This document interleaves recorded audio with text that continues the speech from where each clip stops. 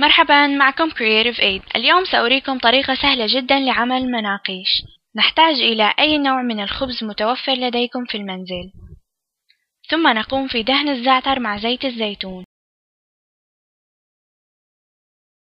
ويمكنكم دهن الخبز في اللبنة مع زيت الزيتون والفلفل الأحمر.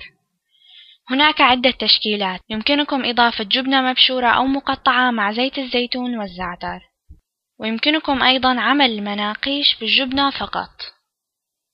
ثم تخبز في الفرن لمدة ثلاثة دقائق ويفضل مراقبتها لكي لا تحترق أو في الميكروويف لمدة نصف دقيقة.